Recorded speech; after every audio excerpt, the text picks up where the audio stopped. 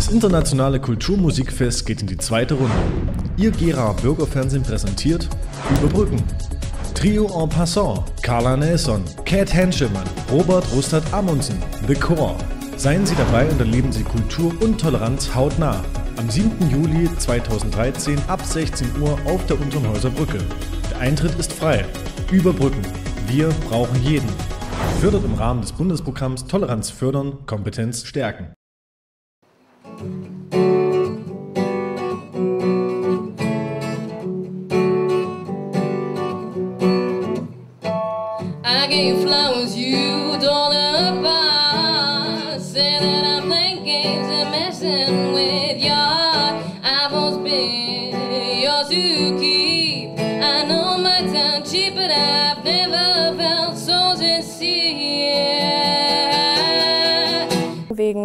Der Geschichte mit Karat. Die war letzten September, fing dafür die Proben an und es war eine recht spontane Zusammenarbeit, einfach in dem ähm, sie halt für einen Live-Konzertmitschnitt eine Sängerin brauchten, was sie so mit dem Kieler Philharmonie gemacht haben, unter Le- der Leitung von Georg Fritsch. Und er hat mich halt vorgeschlagen und da bin ich halt zu so einem Vorsingen gegangen, Erfurt, und wir haben Kaffee getrunken und uns einfach unterhalten und gesehen, ob das so passt. Äh, Ich musste auch, glaube ich, gar nicht mal wirklich singen an dem Tag. Und ich glaube, wir haben mal kurz was angesungen und dann haben die halt gemeint, ja, dann sehen wir uns in Berlin wieder. Und ähm, ja, und dann daraus, aus einem Konzert, wurden dann halt so vorher noch drei weitere geplant, einfach um zu sehen, wie das so ankommt beim Publikum. Und ähm, aus einem Song, den ich mitsingen sollte, Abendstimmung, wurden dann plötzlich dann drei und weil es einfach so gut gepasst hat so und äh, das hat auch super viel Spaß gemacht und dann am 7. Oktober war dann in Kiel so das der große Auftritt ähm, mit der Kieler Philharmonie und das war einfach unglaublich und dann wollte ich einfach danach gar nicht mehr aus Berlin weg. Da habe ich mir gedacht, dann suchst du dir hier irgendwas, was du gern machst und ähm, bleibst dann noch das Jahr hier. Und dann habe ich halt eine Studienvorbereitung gemacht für zeitgenössische Musik in Friedrichshain-Kreuzberg. Und äh, das ist jetzt auch zu Ende. Und das war aber super, weil man kann dafür relativ wenig äh, Schulkosten, halt kriegt man Theorieunterricht, Gesang, Klavierunterricht, äh, Gehörbildung, das ist einfach alles dabei, so ein ganz großes Paket an Wissen, was man da so mitkriegt. Und dadurch lernt man auch einfach so viele Musiker kennen, die genau auf dasselbe Ziel zustreben wie man selbst. Für die Studienvorbereitung muss man halt auch eine Aufnahmeprüfung machen. Und die hatte ich eigentlich verpasst, weil das nämlich genau zu demselben Zeitpunkt war, wo ich die Auftritte mit Karat hatte. Aber ich bin dann halt trotzdem dahin gegangen und habe mich halt vorgestellt und gefragt, ob das möglich wäre, vielleicht nur nachträglich was zu machen. Und dann hat er so gemeint, ja, gut, sing mal was vor und so. Und äh, da habe ich halt dann ein äh, Poplied vorgesungen und er hat mich begleitet und dann nach dem ersten Refrain aufgehört und hat gemeint, ah ja, okay, also ich glaube, wir nehmen dich. Erzähl mal was. Und dann habe ich von äh, so Karat erzählt und dann kam raus, dass Karat auf dieselbe Schule gegangen ist, also dieselbe Studienvorbereitung im Prinzip. Und dadurch war die Sache dann erledigt. Dann hat er gemeint, ja, also allein wegen der Geschichte müssen wir dich nehmen. Und das war dann auch total schön. Und ähm, meistens macht man das so zwei Jahre. Aber ich habe jetzt meinen Studienplatz festbekommen ähm, in Boston, sehr weit weg. Aber ähm, das ist eine tolle Schule und dafür, also das kann man einfach nicht abschlagen. So ein, na, kann man nicht Nein sagen. Es ist so wirklich die Universität, wo alle hinwollen, die halt äh, Third Stream Music machen wollen. Also ich weiß nicht ganz genau, wie man das auf Deutsch nennt. Wahrscheinlich einfach zeitgenössische Musik. Und ähm, da kann man einfach sich jedes Semester irgendwie in eine andere Richtung ausprobieren und man lernt halt wirklich bei Leuten, die Songs schreiben für Elton John, für ähm, Sting. Das sind einfach wirklich die ganzen Größen waren schon mal in Berkeley und und da dachte ich mir, naja, kann ja nicht falsch sein, sich da einfach mal zu bewerben. Und äh, das ging dann so schnell. Ich bin Februar dahin geflogen. Nach London war die Aufnahmeprüfung. Und dann plötzlich, einen Monat später, kriege ich meine Zusage. Und es ist halt einfach super, weil sie wissen, dass man nicht nur sein Instrument beherrschen muss, sondern man muss halt einfach, einfach in diesem Business klarkommen. Und dann kriegt man halt Musikproduktion, wie man aufnimmt, wie man Music Business macht und äh, Singer-Songwriting natürlich auch was halt auch für Sänger, also das ist halt auch das, wofür ich mich halt speziell beworben habe, ist, dass ich halt selber meine Songs so gut irgendwie schreiben kann, arrangen kann, dass es einfach äh, für einen Vertrag mit irgendeinem Label reicht. Und das ist halt das, worauf ich so zustrebe. Das wäre so der Idealfall. Rise, give me your hand. Hold your breath,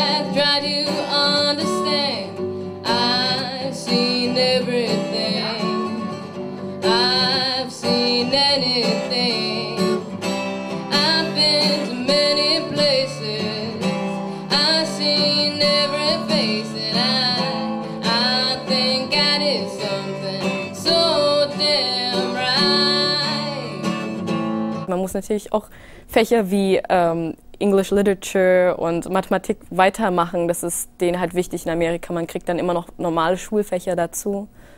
Und das ist halt dann wichtig, dass man ähm, die Sprache wenigstens beherrscht. Also Musik ist natürlich eine internationale Sprache.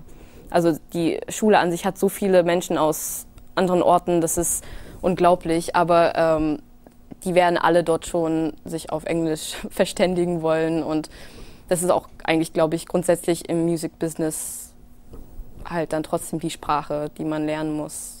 Und also ich finde auch, also ich könnte, glaube ich, schwer einen deutschen Song schreiben. Also ich wüsste nicht genau, wie ich es machen würde. Also mir fällt es einfach auf Englisch, Texte zu schreiben. Aber ähm, ich habe mich noch nie ausprobiert, so in der deutschen Sprache. Ich glaube, das ist auch eine schwierigere Sache, so kann ich mir vorstellen. Also ich bewundere das eigentlich, wenn ich gute deutsche Texte höre. Was ich finde, was für mein Alter dann auch immer am realistischsten ist, ist, wenn man einfach über das Erwachsenwerden schreibt. Also das fand ich für mich persönlich am hilfreichsten, wenn ich so einfach gewisse Dinge, die ich noch nicht so richtig wusste, wo ich bin jetzt, wer ich bin, dass ich das einfach vielleicht in Texten zusammenfasse. Und das hat halt irgendwie sehr gut geholfen. Und ähm, damit, klar, wenn ich älter bin und weiß, wo bin ich, wer bin ich, so die, also diese Fragen einfach, ähm, dann habe ich dann vielleicht andere Sachen, worüber ich schreibe. Aber es sind auch immer mal Liebeslieder dabei, natürlich. genau, aber ähm, ich glaube, das entwickelt sich dann auch immer, je nachdem, in was für einem Punkt im Leben gerade steht, wird man immer irgendwelche neuen Sachen haben, neue Geschichten zum Erzählen. Und es ist ja Singer-Songwriting eigentlich, ist ja Geschichtenerzähler. I could never turn back time. I would never even try to press rewind. I will never unspeak the words I spoke. How could I unbreak the hearts I broke? Also ich habe einfach meine Kindheit, Unbeschwertheit mit Amerika verbunden und dann halt das wirkliche Leben halt in Deutschland. Und eigentlich aber, wenn ich in Amerika meine Schulzeit verbracht hätte, wäre das genau so gewesen. Also dann hätte ich auch gelernt, dass ja auch in Amerika kann man halt Stress haben und so. Und ähm, aber ich bin halt zweisprachig aufgewachsen. Also in der Schule habe ich dann gleich ab der ersten Klasse Deutschunterricht bekommen, im Kindergarten auch. Äh, zu Hause immer nur Englisch. Ähm, ich glaube, selbst wenn meine Freunde da sind, kann ich mich nicht auf Deutsch mit meinen Eltern unterhalten. Es ist so ungewohnt einfach. Dadurch, dass ich halt wirklich, also wirklich bilingual gleichzeitig die Sprachen gelernt habe, ähm, fällt es mir schwer mh, mm, zu sagen, so das ist jetzt die deutsche Carla, das ist die amerikanische Carla, das ist so ein bisschen ineinander so verdreht und ähm, das ist, glaube ich, der beste Ansatz, also wenn man das nicht so trennt, glaube ich. Also natürlich verbinde ich Englisch mit zu Hause, mit also meinen Eltern, mit meinen Geschwistern. Und Deutsch ist für mich dann so mein, mein oder wie ich in der Schule geredet habe, mit meinen Freunden. Aber das sind ja beides so Sachen, die mir sehr am Herzen liegen, wo ich innerlich aufgehe, wenn ich daran denke und wo man auch einfach gute Sachen erlebt hat. I could take away your pain. Yeah, yeah, yeah. I could cry the tears of rain. Yeah. I'm the object of your affection. It's the closest you could get to perfection. I could never turn back time. I will never even try to press rewind. I will never unspeak the words I spoke. I can never unbreak the hearts I broke. Aber solange man sich, glaube ich, nicht zu fest fährt und sagt, jetzt bin ich so und so bin ich so und, und, und sich nicht so spaltet, weil im Prinzip also sind ja alle möglichen Facetten einer Persönlichkeit machen ja die Identität dann aus.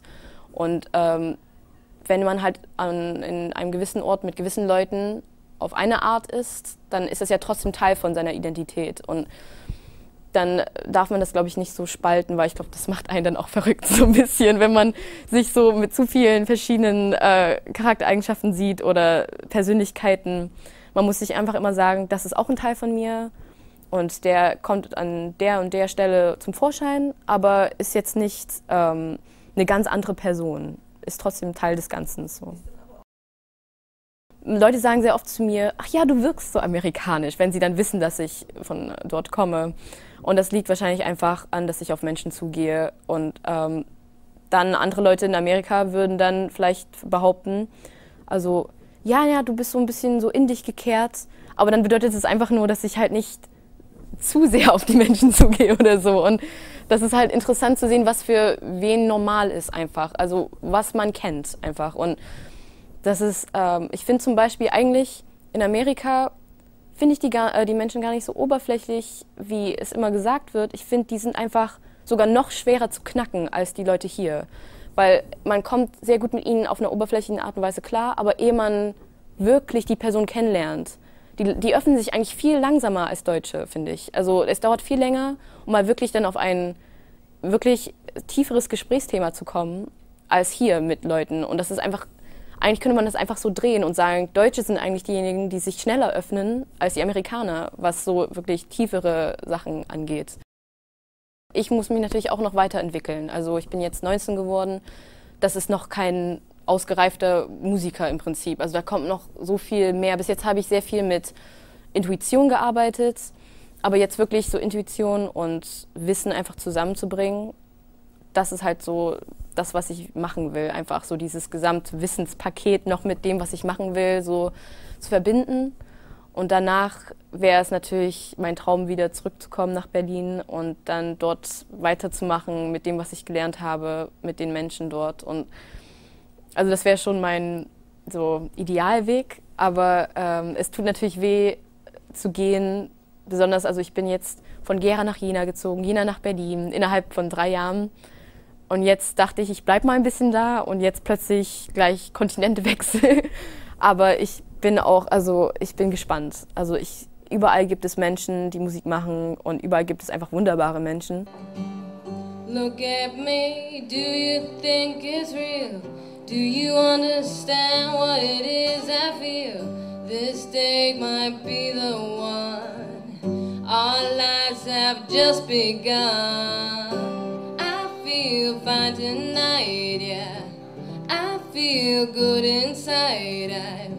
got no reason to hide, cause you are mine tonight. Ich spiele gerne in Gera und ähm, in Gera ist es auch die einzige Stadt, wo manchmal Leute mich sogar ansprechen und fragen, sind Sie Carla Nelson? Was ich total süß finde, weil also, also wann war das? Da war ich irgendwann mal in Galeria Kaufhof und es kam eine ältere Frau auf mich zu und hat gefragt, ob ich die von Freaks bin, von dem Ballett äh, von Silvana Schröder. Und ich so, ja, und dass man mich überhaupt erkennt, weil ich da vorne auf der Bühne irgendwo bin. Und das war irgendwie voll schön. Und ich spiele hier gerne, weil auch natürlich hier kenne ich alle im Prinzip. Also meine Eltern sind hier, sehr alte Schulfreunde kommen immer, wirklich immer, wenn ich in Gera spiele, sind die da.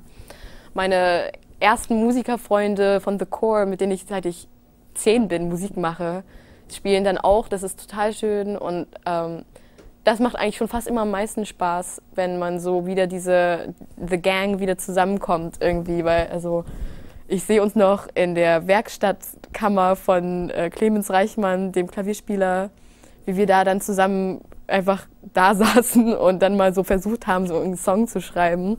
Und daraus, ich meine, die machen jetzt auch ganz viele Konzerte in Leipzig, sind total oft unterwegs und es ist einfach schön, wenn dann alle wieder zurück nach Gera kommen und so. Und dann für auf so eine schöne Veranstaltung auch. Ist echt, dafür lohnt sich das auf alle Fälle. Das internationale Kulturmusikfest geht in die zweite Runde. Ihr Gera Bürgerfernsehen präsentiert Überbrücken. Trio en passant, Carla Nelson, Cat Henschemann, Robert Rostad Amundsen, The Core. Seien Sie dabei und erleben Sie Kultur und Toleranz hautnah. Am 7. Juli 2013 ab 16 Uhr auf der Unteren Brücke. Eintritt ist frei. Überbrücken. Wir brauchen jeden. Fördert im Rahmen des Bundesprogramms Toleranz fördern, Kompetenz stärken.